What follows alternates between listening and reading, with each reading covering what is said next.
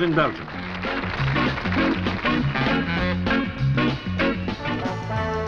Tourists and visitors from all parts of Italy flock to Nola for the weightlifting Festival of the Towers. There are seven of these 40-foot towers, each supported by a team of 60 men.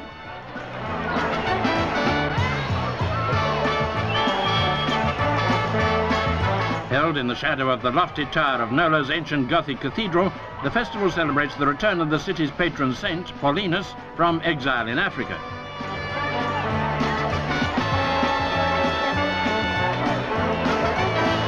The bearers move through the square in time to the music. The business of putting the tires down again is quite an operation, but under expert direction they're eventually dropped into place and the thirsty bearers can join the crowd again.